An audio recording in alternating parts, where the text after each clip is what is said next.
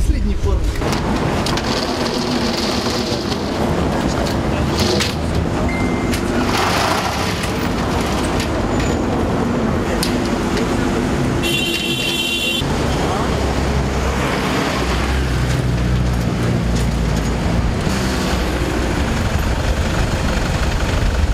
Милиция провела разъяснительные мероприятия, задержали еще вторую группу лиц, э, которые совершали хулиганские действия. Будут доставлены в райотдел для дальнейшего разбирательства и установления личности.